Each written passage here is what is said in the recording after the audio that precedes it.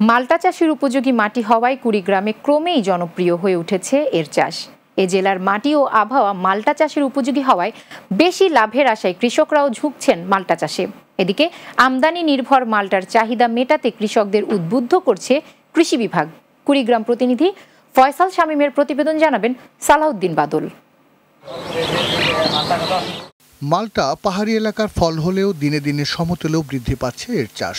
তিন বছর আগে পরীক্ষামূলকভাবে নিজ বাড়িতে মাল্টার চাষ শুরু করেন কুড়িগ্রাম সদর উপজেলা উপসহকারী কৃষি কর্মকর্তা তরিকুল ইসলাম।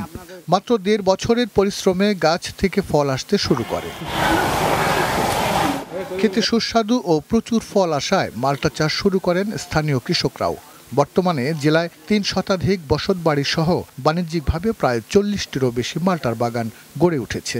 মিষ্টুত স্বাদ এবং প্রচুর ফলন হওয়ার কারণে কৃষক উদ্বুদ্ধ হয়ে পারিবারিকভাবে বাগান করতেছে এবং বাণিজ্যিকভাবে বাগান হয়েছে কিছু এবং আরও সম্প্রসারিত হইতেছে।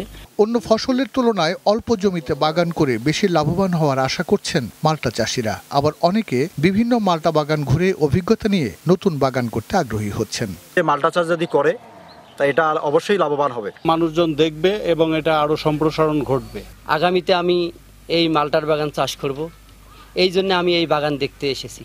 এ জেলার মাটিতে পিএইচ অ্যাসিটিক বা অম্লত্ব থাকায় মাল্টা চাষের প্রচুর সম্ভাবনা রয়েছে বলে জানায় কৃষি বিভাগ। এছাড়া চাষিদের বিভিন্ন পরামর্শ ও উৎসাহ দেওয়ার কথাও জানান কৃষি বিভাগের এ কর্মকর্তা। এখানকার মাটি পিএইচ অ্যাসিডিক এই অ্যাসিডিক মাটিতে মালটা খুব ভালো হয়। আমরা আশা করতেছি আগামীতে এই মালটার চাষ আরও বৃদ্ধি পাবে। প্রান্তিক জেলা কুড়িগ্রামে অন্য ফসলের পাশাপাশি বাণিজ্যিকভাবে মালটা চাষে অর্থনৈতিকভাবে লাভবান হবে স্থানীয় কৃষকরা বলছেন এর সাথে সংশ্লিষ্টরা। Desk report Bangla TV. কুড়িগ্রামের চাকির পাশার নদী দখলমুক্ত করতে জরিপ করেছেন পাঁচ সদস্যের জাতীয় নদী রক্ষা কমিশনের জরিপ দল। গতকাল বিকেলে কুড়িগ্রামের রাজারহাট তিস্তা নদীর প্রবেশ মুখে প্রবেশ মুখ থেকে চাকির পাশার নদী জরিপ কাজ শুরু হয়। এ সময় উপস্থিত ছিলেন নদী রক্ষা কমিশনের গঠিত টিমের আহ্বায়ক অতিরিক্ত সচিব সৈয়দ মোহাম্মদ মতলুবর রহমান, পানি বিশেষজ্ঞ সাজেদুর রহমান, বেগম রোকেয়া বিশ্ববিদ্যালয়ের ডিন ডক্টর তুহিন ওয়াদুদ, রাজারহাট সহকারী কমিশনার ভূমি আকলিমা মুন্নি ও বাংলাদেশ পানি উন্নয়ন বোর্ডের উপবিভাগীয় প্রকৌশলী মাহমুদ হাসান সহ অন্যরা।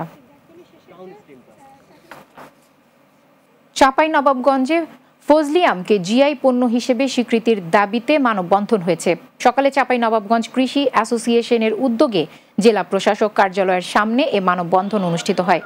এতে বক্তব্য রাখেন মুক্তিযোদ্ধা মুনিমুদ্দৌলা চৌধুরী, বিশিষ্ট গবেষক ও কলাম লেখক জাহাঙ্গীর সেলিম, ম্যাঙ্গো ফাউন্ডেশনের সদস্য সচিব আহসান হাবিব চাঁপাই নবাবগঞ্জ কৃষি অ্যাসোসিয়েশনের সাধারণ সম্পাদক মুঞ্জের আলম, চেম্বার পরিচালক মোহাম্মদ শহীদুল ইসলাম ও সভাপতি আসলাম কবির সহ অন্যরা।